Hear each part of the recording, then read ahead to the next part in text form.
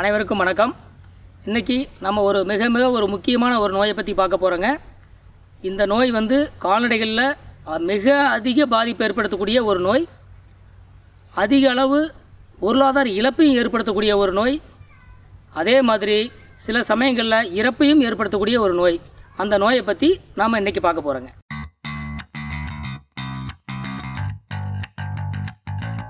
அந்த நோய் என்ன அப்படின்னு கேட்டிங்கனாக்க கோமாரி நோய்ங்க. நீங்கள் வந்து அடிக்கடி இந்த நோயை பற்றி கேள்விப்பட்டிருப்பீங்க. அந்த பேர் வந்து ரொம்ப பரிச்சயமாக இருக்கும் அனைவருக்கும்.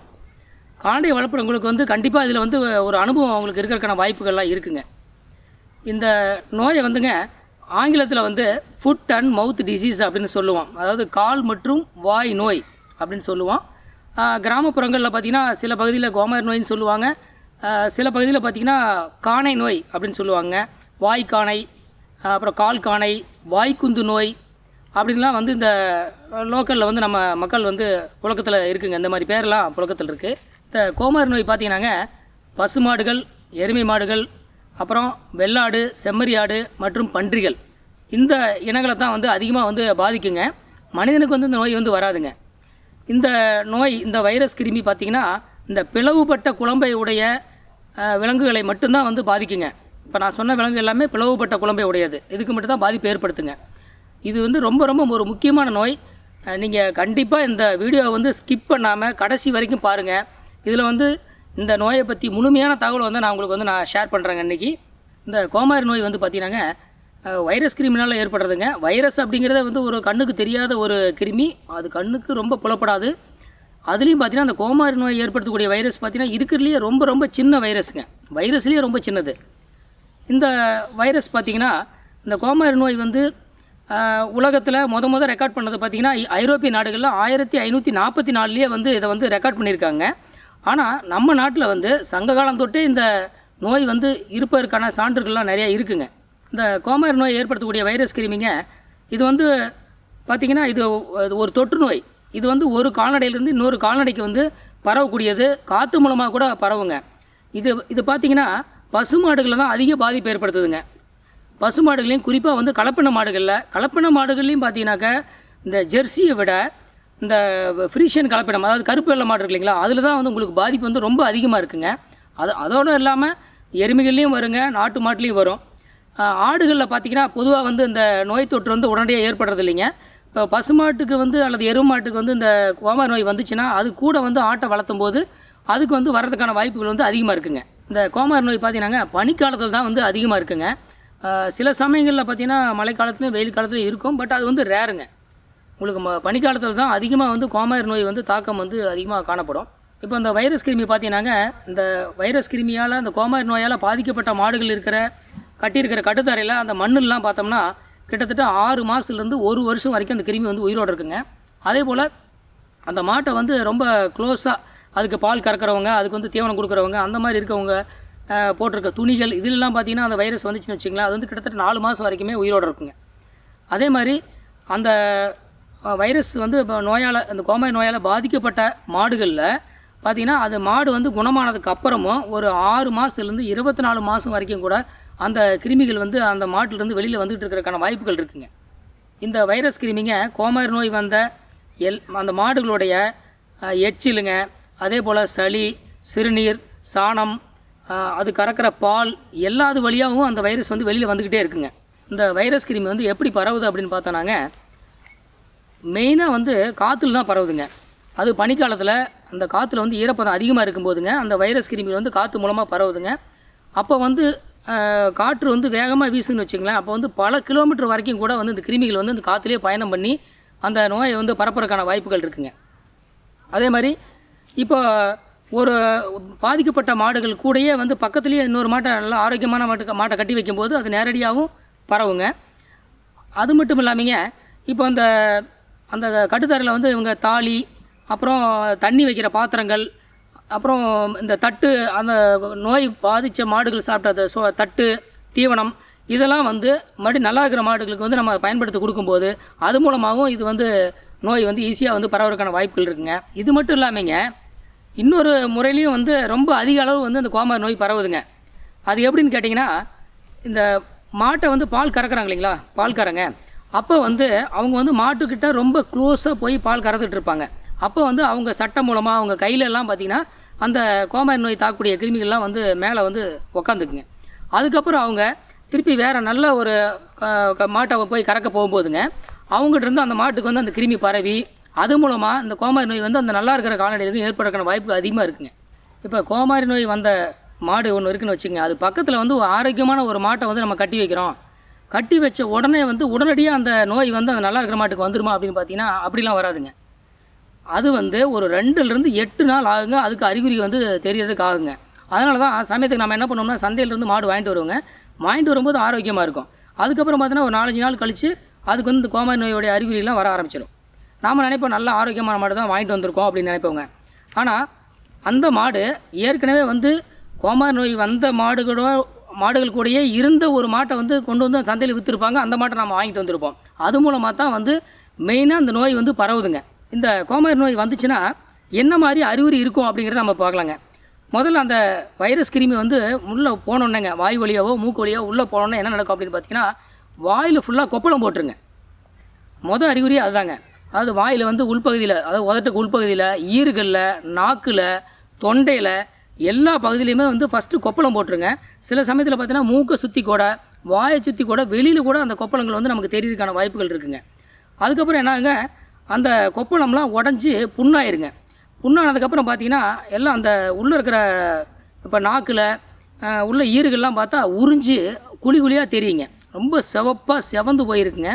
இந்த மாதிரி இருக்கிற சமயத்தில் மாடுகள் பார்த்தீங்கன்னா தீனி எதுவும் எடுக்காதுங்க. தீனி எடுக்க முடியாமல் வாயில் வந்து அப்படியே எச்சில் சலவா மாதிரி எச்சில் வந்து ஊற்றிக்கிட்டே இருக்குங்க. எச்சில் வந்து அப்படியே நொர நொறையாக வருங்க. நாக்கை வந்து நல்லா வாயை முழுசாக வந்து அதை மூட முடியாதுங்க. அதனால் வந்து பார்த்தா நாக்கை வந்து சப்பிக்கிட்டே இருக்குங்க. அதே மாதிரி சில சமயத்தில் நாக்கு வந்து வெளியில் அப்படியே நீட்டிகிட்டே இருக்குங்க. உள்ளே நாக்கை கொண்டு போக முடியாமல் அந்த வாயில் புண்ணு இருக்கனால அந்த வலினால அந்த மாதிரி இருக்குங்க. இந்த மாதிரி சமயத்தில் மாட்டுக்கு வந்து ரொம்ப அதிகமாக காய்ச்சலும் இருக்குங்க. கடுமையான காய்ச்சலும் அந்த மாட்டுக்கு வருங்க. அதே போல் அது வந்து தீனி சாப்பிடாதுங்க தண்ணி குடிக்காது. மாடு வந்து ரொம்ப சோர்வாக இருக்கும். இப்போ வாயில் இருக்கிற மாதிரியே புண்கள் பார்த்தீங்கன்னா நாலு காலுடைய குழாம்பு சந்து இருக்கு இல்லைங்களா? ரெண்டு குழாம்புக்கு நடுவு இருக்கிற சந்துக்குள்ளேயும் இதே மாதிரி கொப்பளங்கள் ஏற்படுங்க. கொப்பளங்கள் ஏற்பட்டு அதே மாதிரி அந்த கொப்பளம் உடஞ்சி புண்ணாயிருங்க. அந்த இடம் பூரா வீங்கி செவந்து போயிருங்க. இதனால் என்ன ஆகும்னா மாடு வந்து நடக்க முடியாதுங்க. காலில் ஃபுல்லாக புண்ணாக இருக்கிறனால குழம்பு சந்தில் புண்ணு இருக்கனால நடக்க முடியாமல் போயிடும். இது வந்து ஒரு முக்கியமான அறிகுறிங்க. ச- சில மாடுகளில் பார்த்தீங்கன்னா மடியில் நிறைய புண்ணு வருங்க. புண்ணுனா வந்து நிறைய இருக்கும். அப்படியே மடி புண்ணே வந்து செவந்து போன மாதிரி ஆயிரும் காம்பெல்லாம். அந்த மாதிரி புண்களும் வருங்க.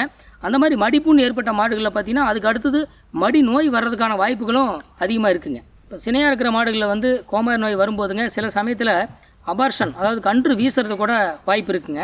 எல்லா மாடுகளையும் ஆகாது. ஒரு சில மாடுகள் அந்த மாதிரி ஆகிறதுக்கான வாய்ப்புகள் இருக்குது இப்போ இளம் கன்றுகள் இருக்கு இல்லைங்களா? சின்ன கன்றுக்குட்டி அதாவது ஒரு மாதம் ரெண்டு மாதத்துக்குள்ளே இருக்கிற கன்றுக்குட்டிகள் அது வந்து தீவனம் சாப்பிடாம பால் மட்டும் ஊட்டிகிட்டு இருக்கு பார்த்தீங்களா அந்த மாதிரி இளம் கன்றுகளில் இந்த கோமாரி நோய் தாக்கம் ஏற்பட்டுச்சுன்னா என்ன மாதிரி அறிகுறி இருக்கும் அப்படின்னு பார்த்தீங்கன்னா நம்ம பெரிய மாட்டில் பார்க்குற மாதிரி இந்த வாயில் இருக்கிற புண்ணு காலில் புண்ணு இந்த மாதிரி புண்ணெல்லாம் வராதுங்க. ஒரு இப்போ வந்து அந்த மாட்டுக்கு வந்து கோமார் நோய் இருந்து அந்த கண்ணுக்குட்டி வந்து அந்த மாட்டில் பால் ஊட்டுச்சுனாங்க. அதிகபட்சம் ஒரு பன்னெண்டுலேருந்து இருபத்தி நாலு மணி நேரத்துக்குள்ளே உடனடியாக அந்த கண்ணுக்குட்டி வந்து இறந்து போயிருங்க. அதுக்கு முக்கியமான காரணம் என்னென்னு பார்த்தீங்கன்னா இந்த பாலில் இருக்கிற கோமாரி நோய் கிருமிகள் அந்த வைரஸ் வந்து அந்த கண்ணுக்குட்டியோட இதயத்தை வந்து பாதித்து அதை செயலிழக்க வச்சிருங்க. அதனால் வந்து உடனடியாக வந்து இறந்து போயிருங்க. இப்போ இந்த மாதிரி கோமாரி நோய் அறிகுறிகள் வந்து நம்ம மாட்டுக்கு தெரிஞ்சதுனாங்க நம்ம உடனடியாக என்ன செய்யணும் அப்படின்னு பார்த்தீங்கன்னா நம்ம பக்கத்தில் இருக்கிற கவர்மெண்ட் வெட்டினரி ஹாஸ்பிட்டலுக்கு அரசு கால்நடை மருத்துவரை போய் பார்த்து உடனடியாக நம்ம வந்து இந்த தகவலை சொல்லி அவர் மூலமாக நம்ம உடனடியாக நம்ம வந்து சிகிச்சை வந்து ஆரம்பிச்சிடணுங்க. இது வந்து ஒரு வைரஸ்னால் வர்ற நோய் அப்படிங்கிறனாலங்க இதுக்கு வந்து நேரடியாக வைரஸை கொல்லக்கூடிய சிகிச்சை முறைகள்லாம் இதுக்கு கிடையாதுங்க. இப்போ இந்த நோய் வந்துச்சுன்னா காய்ச்சல் வருது அதே மாதிரி வாயில் கால்லெல்லாம் புண்ணு வருதுங்க. அதுக்கு தான் நம்ம வந்து சிகிச்சை அளிக்கணுங்க. இப்போ வாய் புண்கள் வந்துருச்சு இல்லைங்களா அதுக்கு வந்து என்ன மாதிரி பண்ணணும் அப்படிங்கிற நான் சொல்கிறேங்க இந்த வாய்ப்புண்கள் வந்துருச்சுனாங்க இந்த பொட்டாசியம் பர்மாங்கனேட்டு திரவம் இருக்குங்க சொல்யூஷன் கரைசல் எப்படி தயாரிக்கிறது அப்படிங்கிறது வந்து நம்ம வெட்டக் தமிழ் சேனல்லையே நம்ம ஏற்கனவே வந்து ஒரு வீடியோவில் வந்து இந்த லிங்க்கில் மேலே பார்த்தீங்கன்னா உங்களுக்கு கிடைக்கும். அந்த வீடியோவில் சொல்லியிருக்கோம். அது மாதிரி நீங்கள் அந்த பொட்டாசியம் பர்மனன்ட் கரைசலை வந்து ரெடி பண்ணிக்கிங்க. ரெடி பண்ணிக்கிட்டு வாய்க்குள்ளேயே வந்து நீங்கள் அந்த புண்கள் மேலே படுற மாதிரி நல்லா இறச்சி உள்ளே வந்து நல்லா வாயை வந்து கழுவிடுங்க. சுத்தமாக கழுவிட்டுங்க. அதுக்கப்புறம் இந்த மெடிக்கல் ஷாப்பில் வந்து போனீங்கன்னா போரிக் ஆசிட் பவுடர் கிடைக்குங்க. போரிக் ஆசிட் பவுடர் கிடைக்கும். அதே போல் கிளிசரின் அப்படிங்கிற வந்து ஒரு திரவம் லிக்விட் கிடைக்குங்க. இது ரெண்டையும் வாங்கிட்டு வந்து இந்த போரிக் ஆசிடும் கிளிசரினையும் ஒன்றா மிக்ஸ் பண்ணிக்கங்க. நல்லா வந்து கலந்துக்கிட்டு அதை வந்து அந்த புண்கள் மேலே நல்லா படுற மாதிரி வந்து நல்லா தடவி விடுங்க. இதை வந்து ஒரு நாளைக்கு ரெண்டுலேருந்து மூணு தடவை காலை மதியம் மாலை. மூணு வேளையும் நீங்கள் தடவிட்டு வாங்க. இப்போ போரிக் ஆசிட் கிளிசரினுக்கு பதிலாக நம்ம வந்து நம்ம சுத்தமான தேங்காய் எண்ணெய் ஆட்டின எண்ணெய் இருக்கு இல்லைங்களா? அந்த எண்ணெய் கூட மஞ்சத்தூள் இருக்கு இல்லைங்களா? அந்த மஞ்சத்தூள் ரெண்டையும் ஒன்றா போட்டு மிக்ஸ் பண்ணி அதையும் கூட தடவலாங்க. அதுவும் நல்ல ரிசல்ட் கொடுக்குங்க. அதே மாதிரி காலில் பார்த்தீங்கன்னா குழம்பு சந்துக்குள்ளே வந்து புண்ணு வந்துருங்க. அந்த புண்ணுகளுக்கு என்ன பண்ணுறது பார்த்தீங்கன்னா இதே மாதிரி வந்து பொட்டாசியம் பர்மனெண்ட் கரைசலை வந்து நம்ம ரெடி பண்ணி மூணு நேரமும் காலுக்குள்ளே குழம்புக்குள்ளே படுற மாதிரி நல்லா சுத்தமாக கழுவிடணுங்க. கழுவிட்டு அதுக்கப்புறம் வேப்பெண்ணெய் இருக்கு இல்லைங்களா? வேப்பெண்ணெய் கூட மஞ்சள் தூள் மஞ்சள் தூள் கொஞ்சமாக போட்டு நல்லா மிக்ஸ் பண்ணி நல்லா குழம்பு சந்துக்குள்ளே நல்லா புண்ணு மேலே படுற மாதிரி நல்லா தடவி விடணுங்க. இதையும் மூணு தடவை செஞ்சுட்டு வரணுங்க. ஏன் வேப்பெண்ணெய் யூஸ் பண்ணுறோம் அப்படின்னு சொன்னீங்கன்னா அது பண்ணாமல் விட்டுட்டோம்னா ஈ முக்கிங்க ஈ மொச்சுதுன்னா வந்து புழு வச்சிருங்க. ஸோ அதை தவிர்க்கிறக்காக தான் நம்ம வந்து வேப்பெண்ணெய் வந்து தடவுறேங்க. கோமாரி நோய் பாதிக்கப்பட்ட மாடுகளுக்கு வந்து என்ன மாதிரி தீவனம் கொடுக்கணும் அப்படின்னு பார்த்தீங்கன்னாங்க பொதுவாக நோய் வந்துருச்சுன்னா மாடு வந்து தீவனமே எடுக்காதுங்க. அதனால் வந்து அதுக்கு வந்து சத்து ரொம்ப குறைஞ்சி போயிடும். அதனால் கொஞ்சம் உணவு வந்து நம்ம அதுக்கு கொடுக்கணுங்க. கோமாரி வந்த மாடுகளுக்கு வந்து நம்ம பச்சை தீவனம் தான் கொடுக்கணுங்க. அதாவது வந்து ரொம்ப பசுமையான தீவனங்கள். இப்போ தீவன புல் அப்புறம் வந்து இந்த முருங்கைக்கீரை அகத்திக்கீரை இந்த மாதிரி வந்து நல்ல எளி எளிதாக சாப்பிடக்கூடிய மாதிரியான பச்சை தீவனங்கள் தான் நம்ம கொடுக்கணுங்க. வரத்தட்டோ வைக்கப்புல்லோ வந்து கண்டிப்பாக கொடுக்கக்கூடாதுங்க ஏன்னு கேட்டிங்கன்னா வாயில் புண்ணு இருக்கிறனால இப்போ அந்த வரத்தட்டெலாம் சாப்பிட்டுச்சுன்னா அந்த புண்ணு அதிகமாயிருங்க. ஸோ அதனால் வந்து அது- சாப்பிட்டா கூட நம்ம வந்து காஞ்சி போன தீவனங்கள் வந்து கொடுக்கக்கூடாதுங்க அதே மாதிரி அதுக்கு வந்து கொஞ்சம் எனர்ஜி கொடுக்குறக்கா என்ன பண்ணலான்னு பார்த்தீங்கன்னா வாழைப்பழம் இருக்கு இல்லைங்களா? வாழைப்பழம் வந்து ஒரு நாளைக்கு வந்து ஒரு ரெண்டுலேருந்து மூணு பழம். காலையில் மதியானம் சாயந்தரம் நைட்டு ஒரு மூணுலேருந்து நாலு வேளை வந்து நம்ம கொடுக்கலாங்க. அதை கூட கொஞ்சம் தேங்காய் எண்ணெயில் வந்து நினச்சி கூட நம்ம வந்து கொடுக்கலாங்க. அது கொஞ்சம் எனர்ஜி கொடுக்கும். பொதுவாக என்ன பண்ணுறாங்கன்னா அந்த மாதிரி மாடு வந்து உடம்பு சரியில்லை அப்படின்னு சொன்னாவே அதுக்கு வந்து கஞ்சி வச்சு கொடுக்குறாங்க. அரிசி கஞ்சியோ அல்லது வந்து மாவு கஞ்சியோ வச்சு கொடுக்குறாங்க. பட் அந்த மாதிரி கொடுக்கக்கூடாதுங்க அந்த மாதிரி கஞ்சி கொடுத்தோம்னா அமில நோய் வர்றதுக்கான வாய்ப்பு இருக்குது அது வந்து இந்த கோமாரி நோயோட அதிகமான பாதிப்பை ஏற்படுத்திடும். ஸோ அதனால் வந்து நம்ம தவிர்க்கணுங்க. இந்த அமில் நோயால் என்னென்ன பிரச்சனை வரும் அப்படிங்கிறத பற்றி நம்ம வீடியோ இந்த வெட்டக் சேனல்லையும் நம்ம போட்டிருக்கோங்க. அதுக்கான லிங்க் வந்து இப்போ மேலே இருக்குங்க. இந்த லிங்க்கில் கிளிக் பண்ணி அதையும் நீங்கள் பார்த்து தெரிஞ்சுக்கலாங்க. இப்போ கோமாரி நோய் வந்த மாடுகளில் நிறைய வாயில் புண்ணு இருக்குங்க தொண்டை வரைக்குமே புண்ணு இருக்கும். அதனால் வந்து வாய் வழியாக வந்து நம்ம எந்த ஒரு உணவையுமே அதாவது வந்து கஞ்சியோ அல்லது தண்ணியோ எதையுமே வந்து வாயில் வந்து ஊற்றி விடக்கூடாதுங்க அப்போ இந்த மாதிரி ஊற்றினோம்னா பொறையேறி பொறையேறினாலும் நிறைய பிரச்சனைகள் வரும். மாடு சமயத்துக்கு இறக்குற கூட வாய்ப்பு இருக்குது அதனால் வாய் வழியாக எதையுமே ஊற்றி விட வேண்டாங்க. கோமா நோய் வந்த மாடுகளுக்குங்க அந்த தீவனம் இருக்கு இல்லைங்களா நம்ம குச்சி தீவனம் கிடைக்கும். அந்த தீவனம் வந்து போட்டு டெய்லி வந்து தண்ணியில் வைக்கலாங்க. அதை போட்டு அது கூடயே வந்து ஒரு நூறு கிராம் வந்து நாட்டு சக்கரை அல்லது வெல்லம் அல்லது கருப்பட்டி ஏதோ ஒன்று தூள் பண்ணி நீங்கள் அதில் வந்து ஒரு நூறு கிராம் கலந்து வைங்க. அது கூட சாப்பாட்டு உப்பு இருக்கு இல்லைங்களா அது ஒரு பத்து கிராமுங்க. சமையல் சோடா அது ஒரு பத்து கிராம். இதெல்லாம் போட்டு ஒன்றா கலந்து ஒரு நாளைக்கு மூணு வேளையும் நீங்கள் வந்து வச்சுட்டு வரலாங்க. அது நல்லா எனர்ஜி மாட்டுக்கு கொடுக்கும்.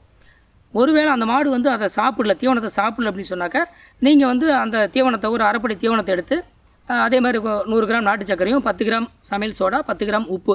இதெல்லாம் ஒன்றா போட்டு தண்ணி விட்டு பிசைஞ்சிக்குங்க. நல்லா உருண்டையாக நம்ம ரவா உருண்டை ரெடி பண்ணுவோம் இல்லைங்களா? அந்த மாதிரி உருண்டை பண்ணிக்கிட்டு மாட்டு கொஞ்சம் கொஞ்சமாக கொஞ்சம் கொஞ்சமாக சாப்பிட்றதுக்கு ஊட்டி விடலாங்க. அந்த மாதிரி செஞ்சோம்னா எந்த பிரச்சனையும் இல்லைங்க.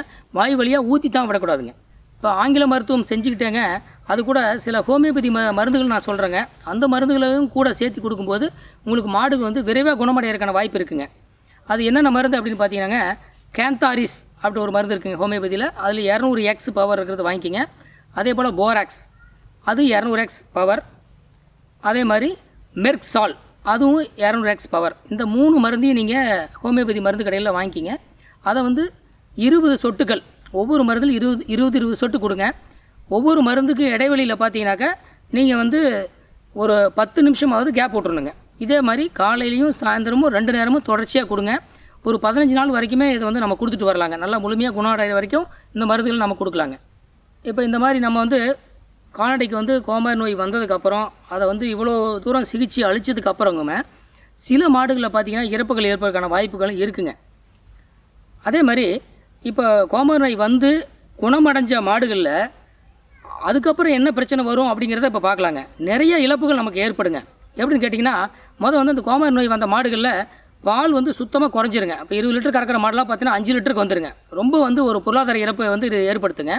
அதே மாதிரி கோமாரி நோய் வந்த மாடுகள்லாம் பார்த்தீங்கன்னா இந்த மேலே இருக்கிற முடியெல்லாம் இருக்கு இல்லைங்களா அந்த முடியெல்லாம் வந்து பெரிய பெரிய கட்ட கட்ட முடியாக மாறிடுங்க பார்க்குறதுக்கு பார்த்தீங்கன்னா ஒரு கரடி மாதிரி இருக்குங்க. பெருமுடியாகி கரடி மாதிரி ஒரு அப்பியரன்ஸ் இருக்குங்க. அந்த மாட்டை பார்த்தாவே தெரியுங்க. உடல் எடை வந்து தேராதுங்க ரொம்ப வந்து எலும்பு தோலுமாக இருக்கும்.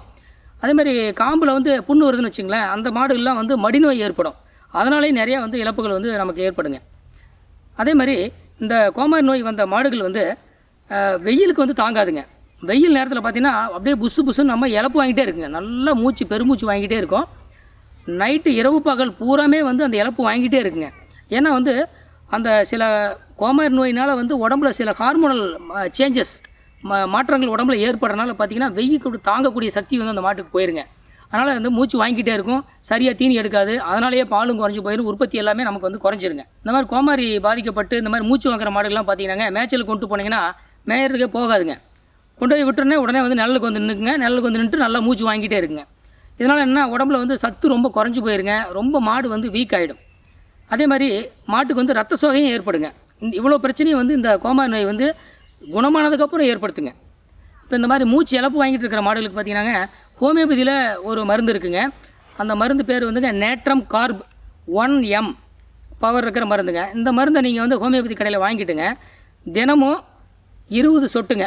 காலையிலையும் சாயந்தரம் வாய் வழியாக ஒரு பதினஞ்சு நாள் இருந்து ஒரு முப்பது நாள் வரைக்கும் தொடர்ச்சியாக கொடுத்துருந்தீங்கன்னா ஓரளவுக்கு வந்து இந்த மூச்சு இழப்பு வாங்குறத நம்ம குறைக்கலாங்க. இப்போ இந்த மாதிரி வந்து கோமார் நோய் அறிகுறி தெரிஞ்சதுனாங்க நம்ம உடனடியாக அது மற்ற மாடுகளுக்கு பரவாமல் இருக்கிறதுக்காக என்னென்ன பண்ணணும் அப்படிங்கிறத நான் சொல்கிறேங்க நம்ம கோமார் நோய் வந்து ஒரு மாட்டுக்கு வந்துருச்சு அப்படின்னு சொன்னால் முதல்ல வந்து அந்த மாட்டை வந்து நம்ம தனிமைப்படுத்திடுங்க மற்ற மாட்டு கூட வந்து அதை வந்து சேர்த்தக்கூடாதுங்க. மற்ற மாட்டை பூரா தூரமாக கொண்டு போய் வச்சிடணும். தனியாக வச்சு பாதிக்கப்பட்ட மாட்டை வந்து நம்ம சிகிச்சை அளிக்கணுங்க. அந்த மாட்டை வந்து நம்ம மேய்ச்சலுக்குலாம் அனுப்பக்கூடாதுங்க. அப்போ வந்து வேறு மாட்டுக்கெலாம் வந்து பரவறக்கான வாய்ப்புகள் இருக்குது அதுதான் மொதல் விஷயம். ரெண்டாவது பார்த்திங்கன்னா இப்போ இந்த பனிக்காலத்தில் சந்தையில் மாடு வாங்குறதே தவிர்க்குன்னு நான் சொல்லியிருக்கிறேன். ஏன்னா வந்து இப்போ இந்த மாதிரி ஒரு பத்து மாடு இருக்கிற இடத்துக்கு ஒரு ரெண்டு மாடு கோம்பார் நோய் வந்துச்சுன்னா அவங்க என்ன பண்ணுவாங்க அப்படின்னா மற்ற மாடுக்கெல்லாம் பாதிப்பு இருக்காது ஆனால் கிருமிகள் உள்ளே போயிருக்கும். ஆனால் அறிகுறி வெளியே தெரியாமல் இருக்கும். அந்த மாடுகள்லாம் உடனடியாக கொண்டு வந்து சந்தையில் விற்றுருவாங்க அந்த மாட்டை நம்ம வாங்கிட்டு வரும்போது அது மூலமாக இங்கேருந்து நம்ம கால்நடைகளுக்கு மட்டும் இல்லைங்க பக்கத்தில் இருக்கிற கால்நடைகள் பக்கத்து ஊரில் இருக்கிறது இதே மாதிரி காற்றுல வந்து சுத்தமாக வந்து பரவ ஆரம்பிச்சிருங்க. ஸோ அதனால் வந்து நம்ம சந்தைகளில் மாடு வாங்குறத தவிர்க்கணுங்க. அதே மாதிரி ஆம், நோய் பாதிப்பு ஏற்பட்டுச்சுன்னா அந்த மாட்டை வந்து நம்ம விற்கக்கூடாதுங்க. விற்றோம்னா அது மூலமாக வந்து வேறு பகுதியில் அதை வாங்கிட்டு போகிறவங்க பகுதியிலையும் அந்த நோய் வந்து பரவறதுக்கான வாய்ப்புகள் இருக்குதுங்க அதனால் வந்து கண்டிப்பாக அதை நம்ம வந்து வெளியில் அனுப்பக்கூடாதுங்க. இந்த கோமாரி நோய் வந்த மாடுகள் அது பயன்படுத்துகிற தீவன தொட்டி அதுக்கு கொடுத்த தீவனம் இதையெல்லாம் வந்து மற்ற மாடுகளுக்கு கொடுக்கக்கூடாதுங்க. அதே மாதிரி அந்த கட்டுத்தாரைக்கு வந்து யா வேறு மாடுகள் வர்றதையும் நம்ம வந்து அலோவ் பண்ணக்கூடாது. அதே மாதிரி மக்கள் அதாவது பால்காரங்க உட்பட யாருமே வந்து அந்த கட்டுத்தாரைக்கு வந்துட்டு மறுபடியும் வேறு கட்டுத்தாரைக்கு போகக்கூடாதுங்க. அதை வந்து நம்ம தடுக்கணுங்க. அப்போ தான் வந்து இந்த நோய் வந்து அந்த கட்டுத்தரையிலேருந்து வேறு பக்கம் பரவாமல் இருக்கும். இதுதான் ரொம்ப ரொம்ப முக்கியமான விஷயங்க. அது மாதிரி அந்த கட்டுத்தரையில் பார்த்தீங்கன்னா நான் சொல்லியிருக்கேன் ஏற்கனவே தரையில் வந்து அந்த கிருமிகள் வந்து அதிக நேரத்துக்கு வந்து உயிர் வாழக்கூடியதுன்னு. அப்போ அந்த கட்டுத்தரையை வந்து நம்ம அடிக்கடி வந்து கிருமி நாசினி கொண்டு வந்து நம்ம சுத்தம் பண்ணணுங்க. இந்த வைரஸ் வந்து ரொம்ப ரொம்ப சின்ன மிகச்சிறிய வைரஸ்னு சொல்லியிருக்கேன். இந்த வைரஸ் வந்து சாதாரணமான கிருமி நாசினிக்கெலாம் சாகாதுங்க. இப்போ வழக்கமாக யூஸ் பண்ணுற மாதிரி டெட்டாலு இந்த மாதிரி இதுக்கெல்லாம் வந்து அது வந்து சாகாதுங்க. இதுக்கு பார்த்தீங்கன்னா இந்த சலவை சோடா இருக்கு இல்லைங்களா? துணியெல்லாம் வெளுக்கிறதுக்காக பயன்படுத்தக்கூடிய சோடா. சோடியம் கார்பனேட்டுன்னு பேருங்க. அது மட்டும்தான் வந்து இதுக்கு நல்லா எஃபெக்டிவாக இருக்குங்க. அது வந்து நாலு சதவீதம் அளவுக்கு வந்து பயன்படுத்துருங்க இப்போ அது அந்த கிருமிநாசினி எப்படி நம்ம தயாரிக்கிறது அப்படின்னு பார்த்தீங்கன்னாங்க ஒரு வாளி தண்ணிங்க ஒரு பக்கெட் தண்ணிக்கு ஒரு கையளவுக்கு சலவை சோடா. அதை எடுத்துங்க நல்லா போட்டு கரைச்சிக்குங்க. கரைச்சிட்டு கம்ப்ளீட்டாக வந்து கட்டுத்தரை பூரா அந்த ம- அந்த கட்டுத்தரை சுற்றி இருக்கிற பகுதி பூராமே வந்து தெளிச்சு விடணுங்க. ஒரு நாளைக்கு குறைஞ்சது மூணு தடவையாவது நம்ம வந்து தெளிச்சிக்கிட்டே வரணுங்க. அப்போ தான் அந்த கிருமி வந்து ஓரளவுக்கு கட்டுப்படுத்த முடியுங்க. இப்போ மாட்டுக்கு வந்து கன்றுகள் இருந்துச்சுனாங்க அந்த கண்ணுக்குட்டியை வந்து நம்ம ஊட்ட விடக்கூடாதுங்க. ஏன்னா ஊட்ட விட்டால் உடனடியே இறந்துறதுக்கான வாய்ப்பு இருக்குது இந்த கோமார் நோயால். அதனால் கண்டிப்பாக வந்து மாட்டுக்கு அறிகுறி இருக்கோ இல்லையோ நம்ம வந்து அந்த கட்டுத்தரில் ஒரு மாடு நம்ம பாதிக்கப்பட்டாலும் மற்ற மாடுகளுடைய கன்றுகளையும் கண்டிப்பாக நம்ம வந்து ஊட்ட விடக்கூடாதுங்க. அப்போ தான் அந்த கன்றுகளை வந்து நம்ம காப்பாற்ற முடியும். அதை பிரித்து கொண்டே தூரமாக வச்சிடணுங்க. நண்பர்களே நம்ம இப்போ இவ்வளோ நேரமாக இந்த கோமாரி நோய் வந்தால் என்னென்ன பிரச்சனை வரும்? வந்ததுக்கப்புறம் அதை பரவாமல் எப்படிலாம் தடுக்கிறது அப்படிங்கிறத பற்றி நம்ம வந்து விரிவாக பார்த்தோங்க. இப்போ எல்லாத்துக்கும் ஒரு சந்தேகம் வரும். இந்த நோய் வராமையே நம்ம தடுக்க முடியாதா? அப்படின்னு வரும். கண்டிப்பாக நம்மளால் இந்த நோய் வராமல் தடுக்க முடியும். இதை நம்ம எல்லாரும் ஒற்றுமையாக ஒத்துழைப்போடு நம்ம இருந்து தடுப்பூசி போட்டுக்கிட்டால் கண்டிப்பாக இந்த நோய் வராமல் நம்ம தடுக்கலாங்க. நான் வந்து ஒரு கால்நடை மருத்துவராக மட்டும் சொல்லலைங்க. நான் வந்து சிறு வயதிலிருந்தே கால்நடை வளர்த்தவன் அப்படிங்கிற முறையிலையும் இன்னும் கால்நடை வளர்த்து கொண்டு வருக வருபவன் அப்படிங்கிற ஒரு முறையிலையும் உங்களுக்கு ஒரு அன்பான ஒரு கோரிக்கையை நான் வைக்கிறேங்க. நீங்கள் வந்து அவசியம் உங்களோட பசுமாடுகளுக்கும் எருமாடுகளுக்கும் தடுப்பூசி கண்டிப்பாக போட்டுக்கணுங்க. இந்த தடுப்பூசி பார்த்தீங்கன்னா நம்ம அரசாங்கம் மூலமாகவே வருடத்திற்கு ரெண்டு தடவை வந்து ஒவ்வொரு கிராமத்துலேயும் வந்து இந்த தடுப்பூசி வந்து இலவசமாக போடுறாங்க. கண்டிப்பாக அந்த மாதிரி தடுப்பூசி போடும்போது நம்முடைய கால்நடைகள் அனைத்தையுமே கொண்டு போய் கண்டிப்பாக நம்ம தடுப்பூசி போட்டுக்கணுங்க. நம்ம எல்லாரும் ஒத்துழைச்சி இந்த தடுப்பூசி போட்டுக்கிட்டால் மட்டும்தான் யாருமே விடுபடாமல் நூறு சதவீதம். அப்போ தான் நம்ம வந்து இந்த நோயை வந்து முழுமையாக நம்ம நாட்டை விட்டு வெளியேற்ற முடியுங்க. இல்லைனா திருப்பி திருப்பி இந்த நோய் வரக்கான வாய்ப்புகள் தான் அதிகமாக இருக்குது இதனால் ஏற்படுற பொருளாதார இழப்பையெல்லாம் கணக்கில் கொண்டு தான் அரசாங்கம் வந்து நமக்கு வந்து இலவசமாகவே இந்த தடுப்பூசி வந்து போட்டுக்கிட்டு இருக்காங்க கண்டிப்பாக நாமளும் பயன்படுத்திக்கணுங்க. இந்த கோமாரி நோய் தடுப்பூசி பார்த்தீங்கன்னாங்க எந்த வயதுள்ள கால்நடைகளுக்கு போடலாம் அப்படின்னு பார்த்தீங்கன்னா ஒரு மூணு மாதம் முடிஞ்சு நாலு மாதம் ஆன கன்றுகள் இளம் கன்றுகளில் ஆரம்பித்து பெரிய மாடு வரைக்கும் எல்லாத்துக்குமே இந்த தடுப்பூசி வந்து போட்டுக்கலாங்க. இந்த தடுப்பூசி வந்து ரொம்ப பாதுகாப்பான தடுப்பூசிங்க இதனால் எந்த பிரச்சனையும் வராது. பொதுவாக இந்த சினையாக இருக்கிற மாடுகளில் கடைசி மூணு மாதம் இருக்கு இல்லைங்களா? அந்த டைமில் இருக்கிற மாடுகளுக்கு மட்டும் நம்ம போடுறத வந்து தவிர்க்கிறது நல்லதுங்க. ஏன்னு கேட்டிங்கன்னா அந்த மாட்டுக்கு வந்து தடுப்பூசி போட போகும்போது சமயத்துக்கு அது வந்து மிரண்டு கீழே கீழே விழறதுக்கான வாய்ப்பு இருக்குது அதனால் பாதிப்பு வந்துடும் அப்படிங்கிறனால வந்து நம்ம அந்த சமயத்தில் வந்து தடுப்பூசி போடாமல் வேணால் அதை தவிர்க்கலாங்க. மற்றபடி க- கறவையில் இருக்கிற மாடுகள் இளஞ்சனியாக இருக்கிற மாடுகள் அப்புறம் மூணு மாதத்துக்கு மேலே இருக்கிற எல்லா கண்ணுக்குட்டி எல்லாத்துக்குமே அந்த தடுப்பூசி போடலாங்க. ரொம்ப பாதுகாப்பான தடுப்பூசிங்க. பொதுவாக இந்த தடுப்பூசி போட்டால் எப்பவுமே நம்ம குழந்தைகளுக்கு கூட தடுப்பூசி போடும்போது காய்ச்சல் வர்றதுக்கான வாய்ப்புகள் இருக்குது கண்டிப்பாக வரும்.